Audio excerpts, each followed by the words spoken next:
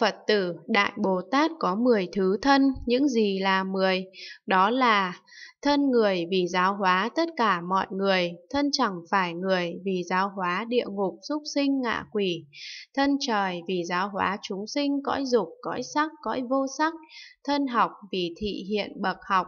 thân vô học vì thị hiện bậc A-la-hán, thân độc giác vì giáo hóa khiến cho nhập vào bậc bích chi Phật,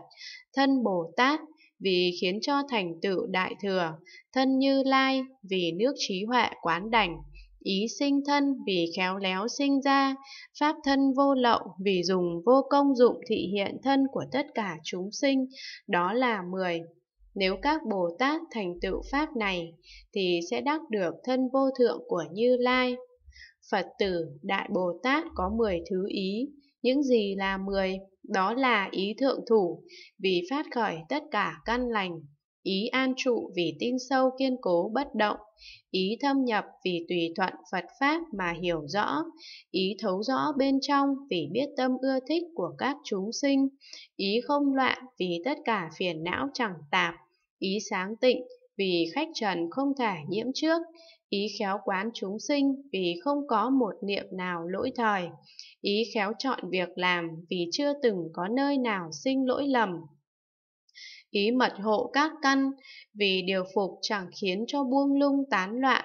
Ý khéo vào tam muội vì thâm nhập tam muội của Phật không ta không của ta đó là mười.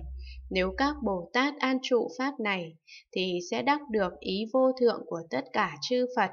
Phật tử Đại Bồ Tát có 10 thứ hạnh. Những gì là 10? Đó là hạnh nghe Pháp vì thọ sự ưa thích nơi Pháp, hạnh thuyết Pháp vì lợi ích chúng sinh, hạnh lìa tham sân si sợ hãi, vì điều phục tâm mình, hạnh dục giới vì giáo hóa chúng sinh dục giới, hạnh tam muội sắc giới vô sắc giới vì khiến cho chúng sinh sớm quay trở về, hạnh hướng về pháp nghĩa vì sớm đắc được trí huệ, hạnh tất cả nơi sanh vì tự tại giáo hóa chúng sinh, hạnh tất cả cõi Phật vì lễ bái cúng dường chư Phật, hạnh niết bàn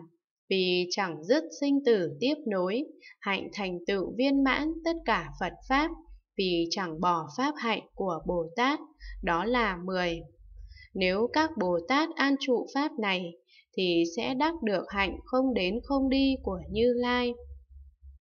Phật tử Đại Bồ Tát có 10 thứ trụ, những gì là 10? Đó là trụ Bồ Đề Tâm, vì chưa từng quên mất, trụ Ba La Mật, vì chẳng nhàm trợ đạo, trụ thuyết pháp vì tăng trưởng trí huệ, trụ A-lan nhã vì chứng đại thiền định, trụ tùy thuận nhất thiết trí, đầu đà chi túc bốn thánh trùng, vì ít dục, ít việc,